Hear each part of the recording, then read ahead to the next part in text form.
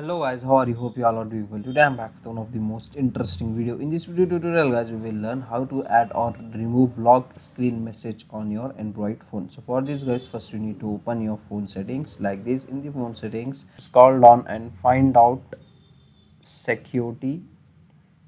Just open it and here you can get the option lock screen preferences. If you are facing difficulty to find out this option you can also use the search box to directly go to this option lock screen preferences. Just open it and here you can get the option lock screen message. Just tap on it. From here you can easily able to add a message if you want to add okay? So for example i am adding hi after this guys. Just click on save. Now your lock screen message was saved. As you can see guys in my screen so the message was showing hi so if you want to remove it guys same. Go to your phone settings security location lock screen preferences. From here open it. And just if you want to remove it just delete it and click on save that's it so this is the easy and very simple method to add or remove the lock screen messages on your android phone.